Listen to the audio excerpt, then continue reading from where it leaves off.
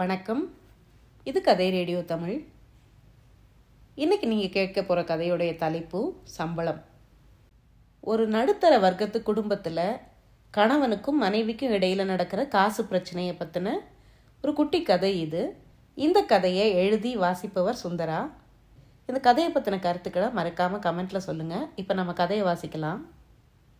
நீங்கள் எத்தனை தடவை கேட்டாலும் என்னோட பதில் ஒன்று தான் என்கிட்ட காசு கிடையாது. சம்பளம் வந்தால் தான் சாப்பாட்டுக்கே அரிசி வாங்க முடியும். தயவு செஞ்சு என்னோட கொஞ்ச நஞ்ச நிம்மதியையும் கெடுக்காதீங்க.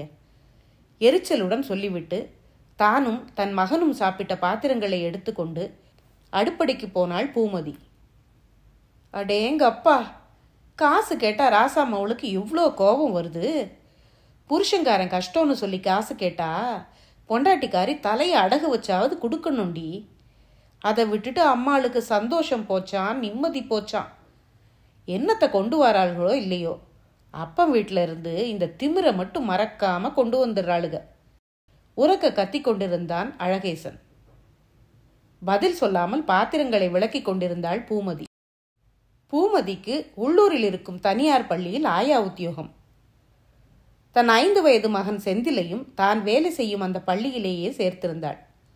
அவள் கணவனுக்கு பக்கத்தில் இருக்கிற ஆட்டோ மெக்கானிக் ஷாப்பில் வேலை. அவனுடைய சம்பாத்தியம் அவனுக்கே பத்தாது. மாசத்தில் பத்து பதினைந்து நாள் தன்னுடைய காசை செலவழித்துவிட்டு அதற்கு பின் பூமதியை நச்சரிக்க ஆரம்பித்து விடுவான். அன்றைக்கும் அதே கதைதான் நடந்து கொண்டிருந்தது. திடீரென்று டேய் மவனே அந்த நோட்டை இங்க கொண்டாடா என்று குரல் கொடுத்தான் அழகேசன். அப்பாவின் கத்தலையும் அம்மாவின் பதிலையும் மௌனமாக உள்வாங்கியபடி அடுத்த நாள் பள்ளிக்கு போக புத்தகங்களை எடுத்து வைத்து கொண்டிருந்த மகன் ஒரு நிமிடம் தயங்கிவிட்டு எழுந்து வந்து நோட்டை அப்பாவிடம் கொடுத்தான்.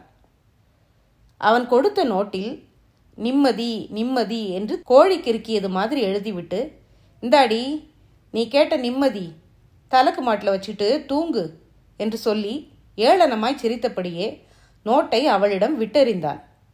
கோபம் பெருகினாலும் அதை காட்ட இது சரியான சமயமில்லை என்று நினைத்தவளாக அதை மனதிற்குள் அழுத்தி கொண்டாள் பூமதி.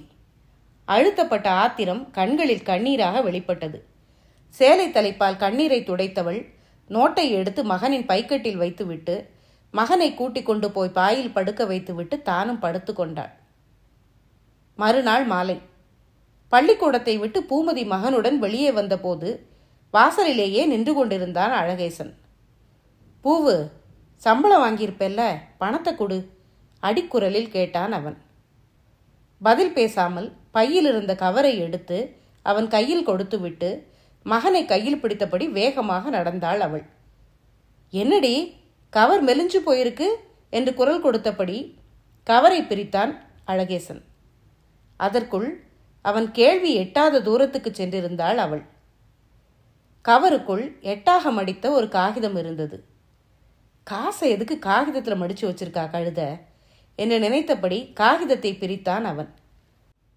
உள்ளே சம்பளம் என்ற வார்த்தை தடித்த எழுத்துக்களில் எழுதப்பட்டிருந்தது. திகைத்தவனாக பேப்பரை திருப்பி பார்த்தான். அங்கேயும் அதே வார்த்தை அவனை பார்த்து சிரித்து கொண்டிருந்தது. கதை முடிவடைந்தது. இந்த கதை உங்களுக்கு பிடிச்சிருக்குன்னு நினைக்கிறேன். இந்த கதை பிடிச்சிருந்தா சேனலுக்கு புதுசாக வந்திருந்தீங்கன்னா மறக்காமல் சேனலை சப்ஸ்கிரைப் பண்ணிக்கோங்க. அடுத்த பதிவில் இன்னொரு நல்ல கதையோடு சந்திக்கலாம். நன்றி.